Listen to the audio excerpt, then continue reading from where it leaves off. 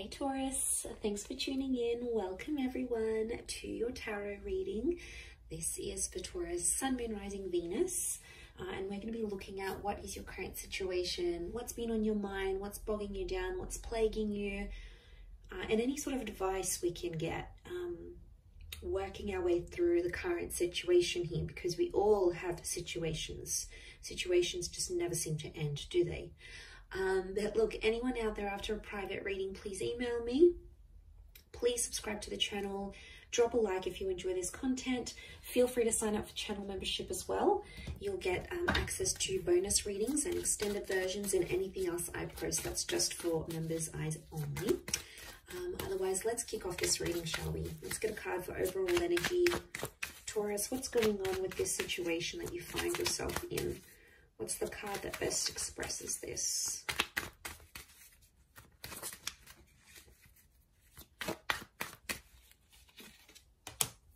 Okay, Ten of Swords, but it's reversed. Okay, this is good because I feel like I'm getting a letting go kind of situation here. Um, now this, I feel like this has taken you a long time to get to this level where you're at. So off the bat, I want to say you've come a long way and congrats here, Taurus. You are letting go of a lot of pain I'm seeing and you're actually shedding a lot of layers. Reverse, these swords would fall outwards. They're all up, but they would fall outwards. Um, and then we can see that the darkness is down the bottom and the sun is up the top. So I feel like you're coming into a more balanced kind of energy. Uh, I don't know, I'm getting forgiveness. I'm getting letting go, moving on, forgiveness, especially with an air sign or mentally. Power of the mind is, is astonishing here.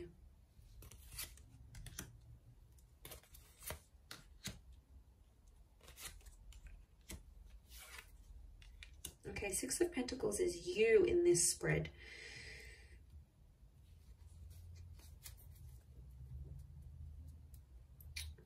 Okay. I do feel for a lot of you, there's been a line drawn in the sand here and you've started to see some things have become one-sided in a connection. Uh, I'm also getting that because you're moving on, someone's going to sense this. And I wouldn't be too surprised if someone comes back begging and pleading to be with you. It could be a soulmate or a twin flame. Uh, our reunion is on the cards here.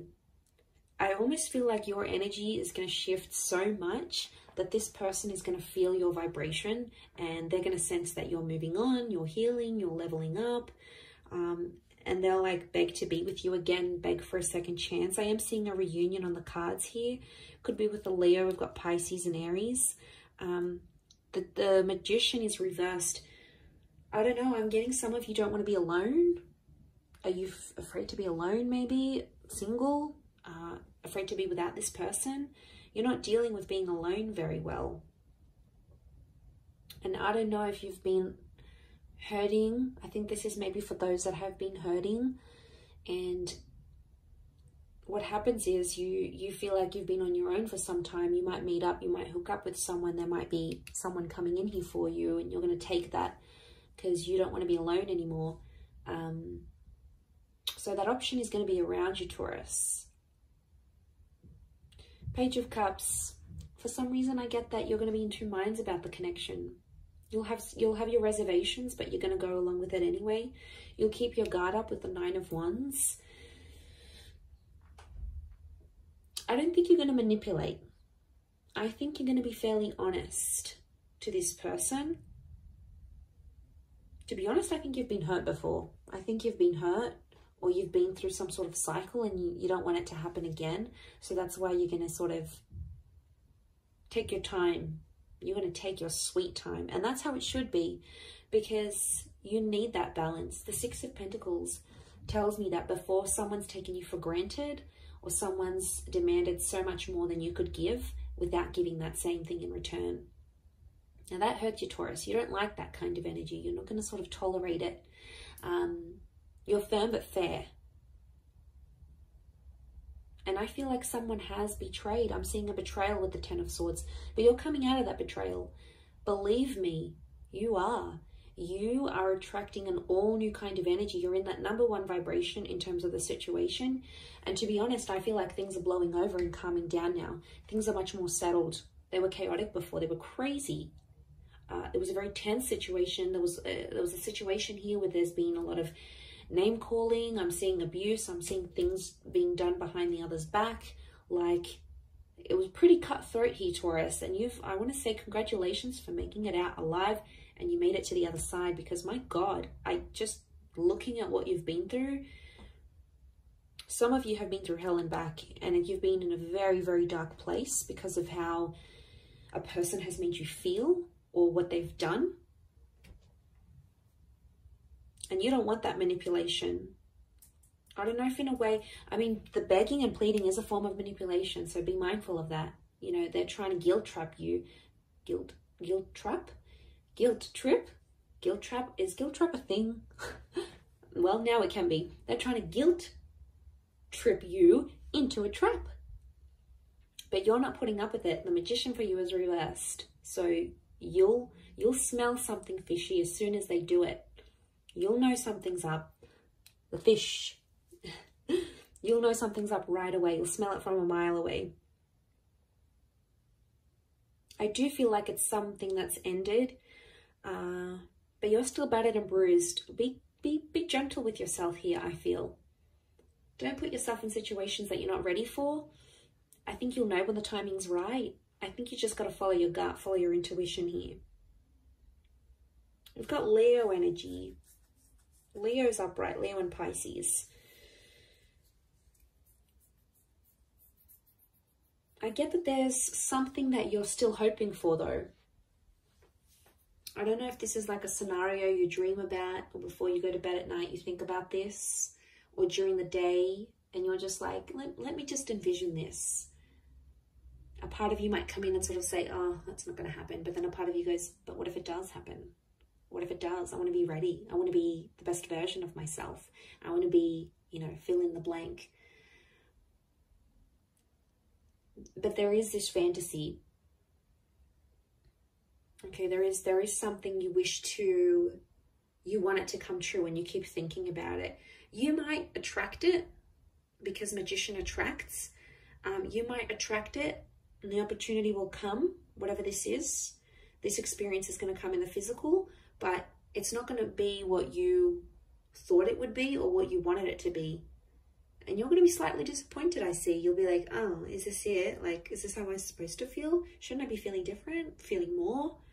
No, no, no. I think there's something you're not going to be too happy about. Or it's just like it's not going to live up to the expectation, Taurus, I don't think. Mm. Someone really needs you. I'm getting I need you, I need you. It's not even a question of want anymore. It's I need. I need this, I need that. I need you to be this. I need you to be that. I need you to come here. I need you to be there for me with this. It's like needing needing each other, but that's that's unhealthy. It's okay to want, but needing each other like you can't live without this person that's how you know there's an unhealthy attachment here. And it could be that, especially if this person is like begging and pleading you, it's them really needing you. So they probably have an unhealthy attachment to you. Not really a secure one. It's more like they're unhealthy, they're unsure, um, they can't have a stable existence without you. They could be, I'm getting someone who's very codependent on you.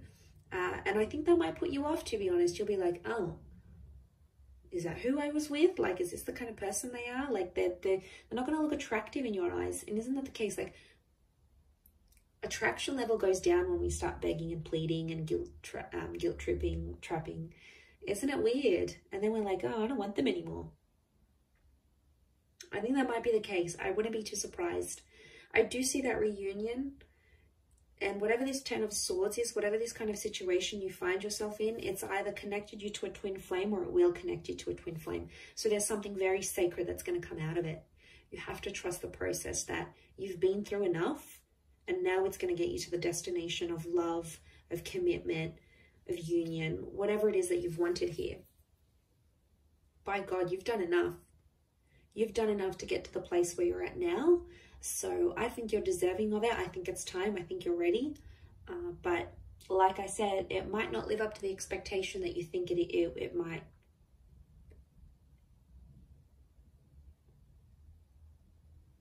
And that's that nine of wands. You'll put your defenses up and then be like, hang on a second, do I really want this? And then you'll come into that page of cups energy and be like, mm, nah, maybe I don't want it. Meh, doesn't really excite me anymore. It's kind of cute but funny but sad. I feel sad for this other person who's who's who's like clearly obsessed and they're going to be heartbroken, I think. Uh, and then they may get super defensive with you. And if they do, obviously there's a very strong emotional reaction, which means they obviously care.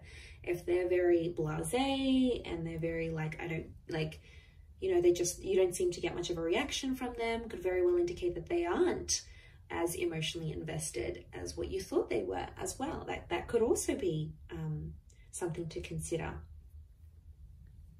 I will wrap it up there, Taurus. So thank you again for watching. Um, my lovely little bulls. If anyone out there is after a private reading, please email me. Please like this video and also please subscribe to the channel. That would be very much appreciated. I'd love to have you um, join my little YouTube fam. So that is ever growing. So thank you for all your support and love and hopefully we'll be in touch soon. So thanks again everyone and bye for now.